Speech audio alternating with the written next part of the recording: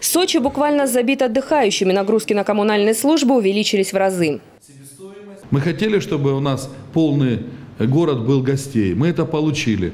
Мы сегодня видим, что наши гости живут даже на квартирах у, э, ну, у наших горожан. Это все, конечно, придало нам дополнительных затрат.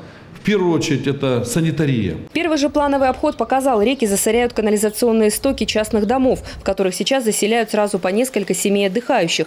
Увиденное, к примеру, в поселке Лао, где протекает одноименная река, буквально шокировало главу города.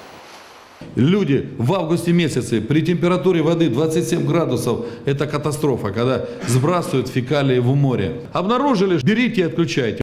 Случае, если проблема не будет решена в экстренном порядке, руководству поселка Анатолий Пахомов пригрозил увольнением. Собственникам же домов, виновных в нарушении санитарных норм, грозит ответственность вплоть до уголовной.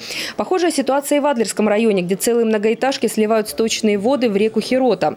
На совещании отметили, в день удара стихии 25 июня в поселке Мирном насос не справился с притоком воды именно потому, что был забит как раз канализационными стоками. Отдельная тема – подготовка города к зиме. Эта работа сейчас идет опережающими темпами темпами. Теплосети и котельные уже готовы к холодному сезону на 75%.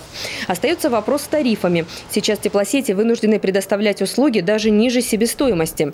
А вот оценка работы водоканала, которую дали на совещании, была однозначной. На наш взгляд, пока мы видим, наш э, водоканал не выполняет те обязательства, которые должны.